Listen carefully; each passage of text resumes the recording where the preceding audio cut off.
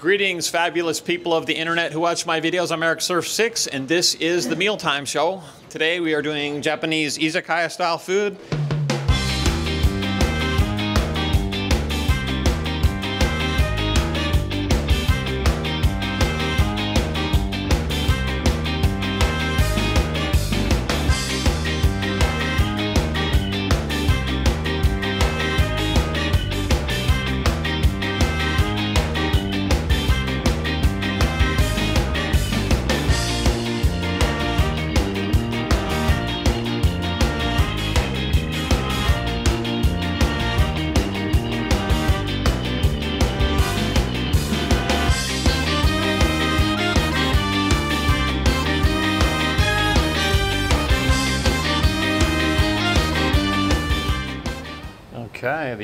First two appetizers have arrived.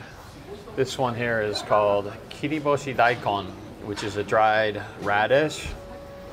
Some other things mixed in there too. And this is a mixed seafood. And then we've got a sake to kick it off with. Yeah. And a big cheers to you, Team Get Some.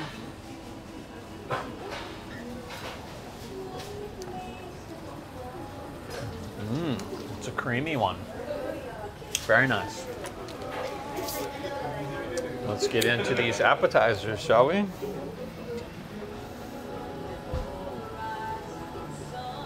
Interesting looking.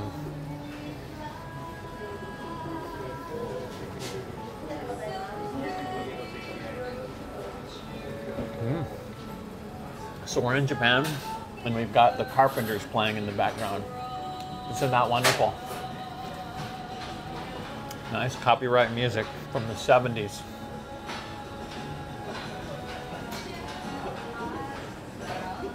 Crank it up a little bit. I really like this song. As for the Kiriboshi Daikon, it's also got some other things in it too. It's interesting. It's better than it looks. I'll just say that. And then let's see, in the seafood dish here, we've got salmon roll, snow crab, scallops. Let's go for the snow crab.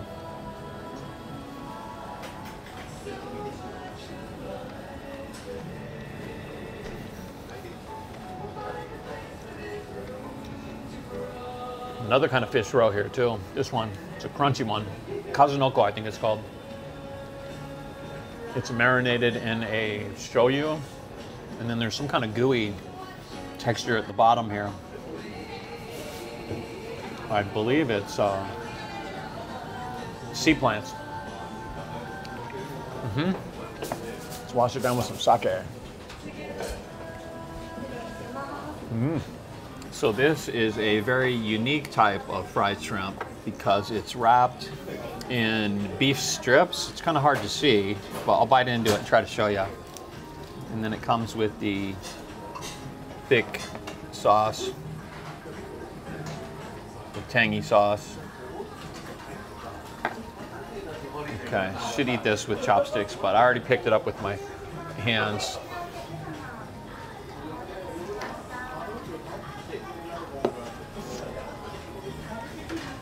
Mm.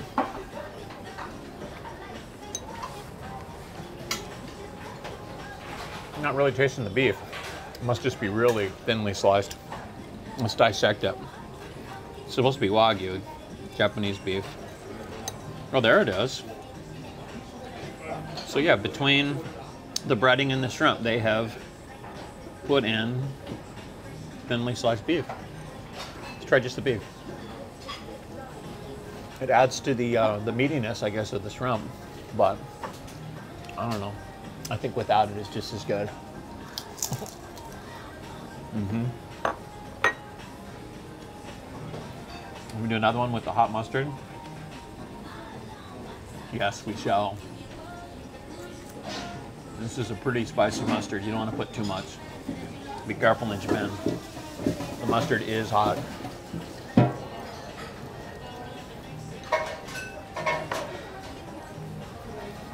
Mmm.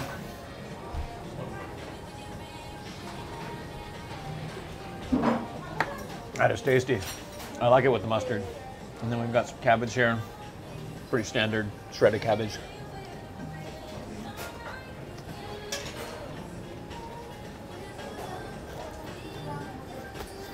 Mmm.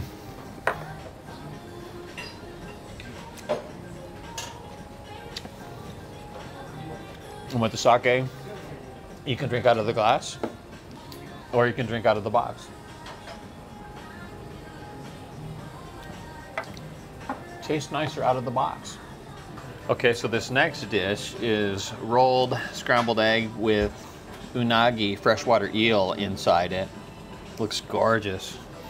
And then it comes with the daikon radish that you can top it with. Beautiful. You get quite a bit of eel there. Look at that. Nice. Put some of the daikon radish sauce on top. Beautiful.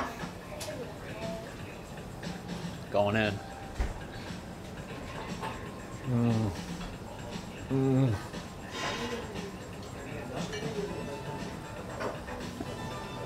Nice combination of flavors. Yeah, and textures. But the egg, it's got sugar in it. It's sweet. If they just do salty and not the sweet, I'd be more of a happy camper. Going in for another piece. I think Tabasco on this would be really nice. Just spice it up a little bit, get rid of that sweetness. Hot sauce. Mm. It's really tasty though. Oh, that eel is so good. Alrighty, next up is a giant sea bream head. Look at the size of this fish. It would probably be about yay big. It's just a head, so it would be a good sized fish. Incredible. So There's the eye right there. And then look at the teeth here. It's the mouth. Look at that. Oh my gosh. Those are some choppers. Oh my gosh, it looks like a rat serious teeth on this guy. Oh my gosh. Okay, so where do we start with the eye? This is edible, actually. I'm gonna I'm gonna save that for the end. It's very bony. Where's all the meat hiding at? The search for the meat is on. Here it is, right here. Oh, jackpot. This is a really solid fish, it's like a shell almost. That is really hard bone. All right, let's do this. Mmm. Oh my gosh. Beautiful. Lovely. It's really tasty. It's cooked just right. It's got a nice flavor to it but all the texture of the fish, it's it's really soft and just delicious. It's it's in kind of a sweet sauce.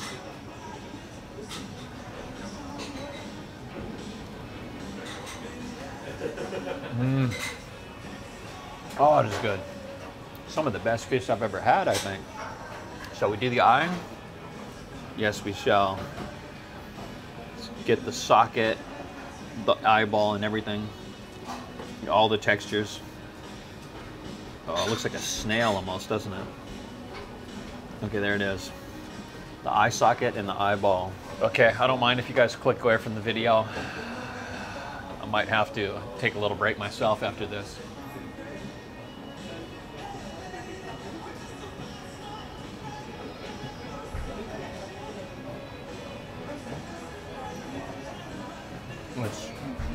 Hard and chewy and gooey at the same time.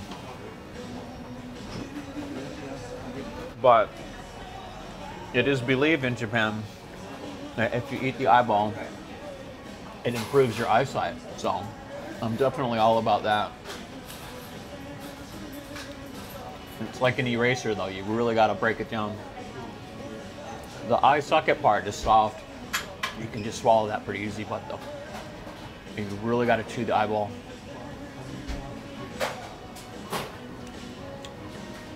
Yeah, imagine, if you will, the most chewy eraser you've ever put in your mouth. The next dish is the potato salad. It's looking pretty handsome. Looks like it's got a lot of ingredients.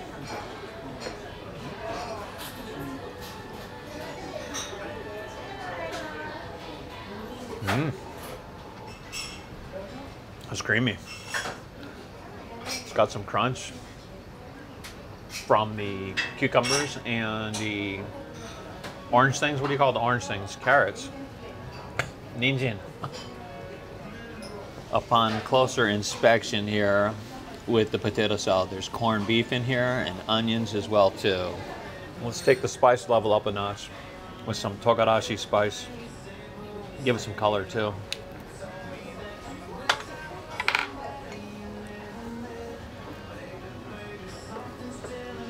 Here we go. Mm. Better. It's good potato salad. And over here, we've got the nasu eggplant with some bell peppers. And it's marinated in a sauce.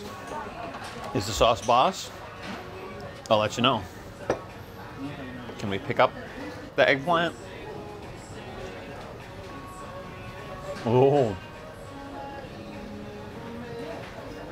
That is really tasty. It's in a sweet miso sauce. Mmm. Oh, I just love eggplant when it's done right. And this is done right. Oh, it is delicious. Doesn't taste like a vegetable, it tastes like a main dish. Here is a very interesting dish.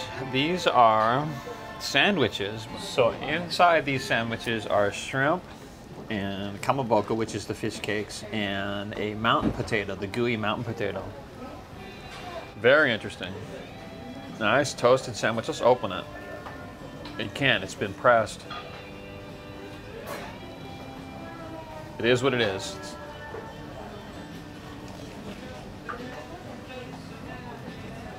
Tastes like a bucket of grease.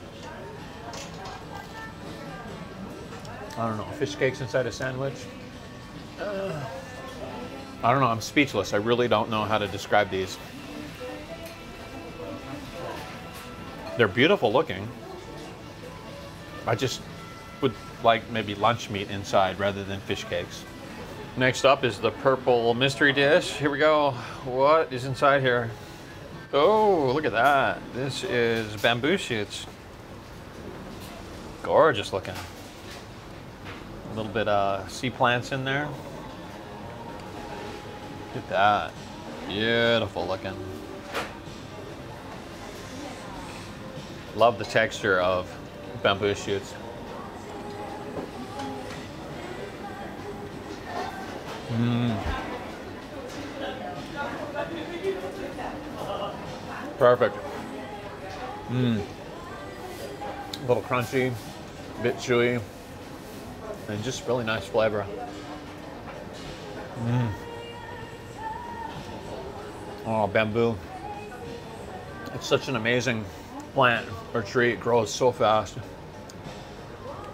And it's just, it's so exotic looking.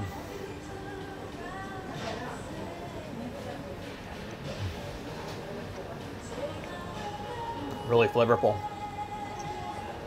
And what do we have here? This is called Niku Tofu. Niku for the meat on top and the tofu on the bottom. And it comes with a raw egg. Oh goodness. So I guess you beat up the egg and then you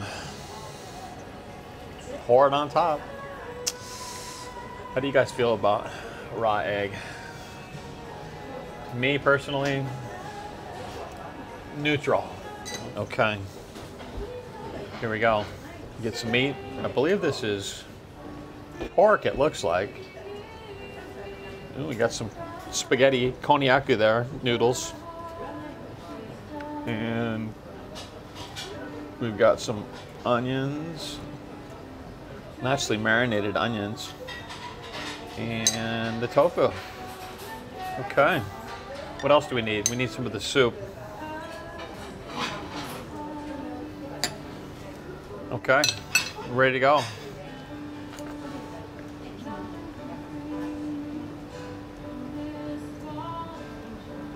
Here we go. Meat going in to the egg wash. Ugh. Ugh.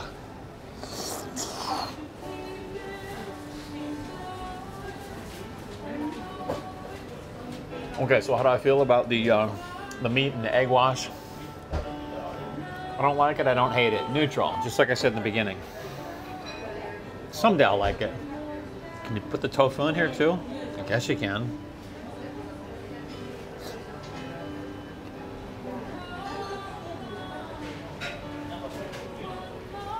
Let's do the konnyaku. Konnyaku, the transparent potatoes. Yakitori cooking. This is the last dish. While we're waiting for the yakitori, it's cooking now. I want to show you the chopstick holders. These are the unagi, the eels. Just like that. What else? And this, can you guess what animal this is? It's actually a bird. Here you go. Right, right, right. Here, they got they've got a waddle like this.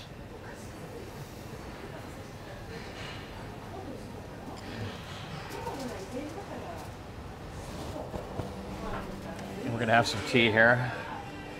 Nice way to finish off the meal with some hot green tea.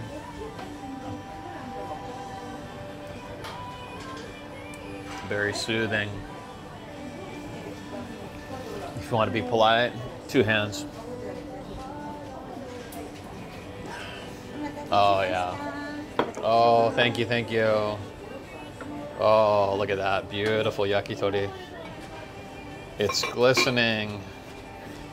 So, 50-50, that's liver right there. 50-50, I'm not sure. I'm gonna start with the skin, I think. Let's do this first. We've, we've also got the spice to add it if it needs it, but he's drenched it in sauce, so I think it's gonna be fine just like this. Chicken skin. Here we go.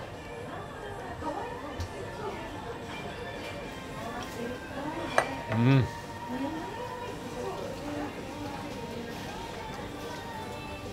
Oh my.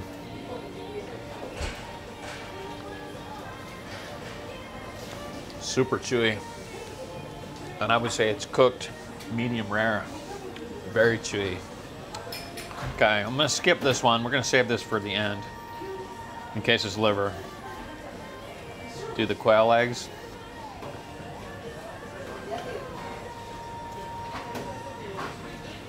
Oh, so tasty. Mmm. The yolks are so concentrated. Nice flavor. And this one is called tsukune, or minced chicken meat. Mmm.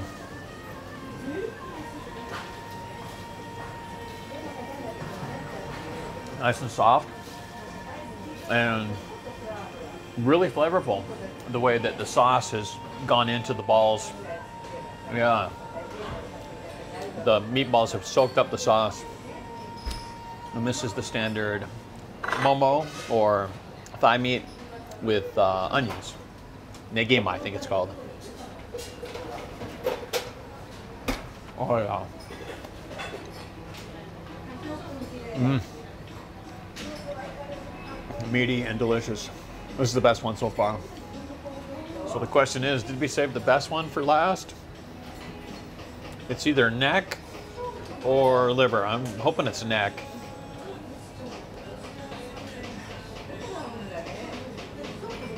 Mm-hmm. I think it's neck. No. It's liver. It's not too bad though. Because it's drenched in the sauce.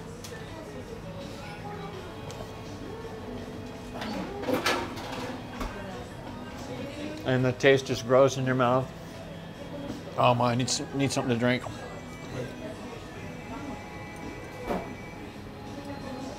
Oh, goodness. Not too bad for my standards for liver, though. Yeah, could have been a lot worse. So that's going to do it for this meal. On my rating scale today, I'm going to give it mm, one, two, three, four, five out of six. It's a gnome, gnome. Banging. It was a good meal all the way around. I really enjoyed it. Had some interesting new items that I've never had before. And that's part of the fun, trying new things when you go out and eat in a foreign country. So I hope you guys enjoyed it. Give the video a like if you did. And as always, I look forward to reading those comments. We shall see you in the next one.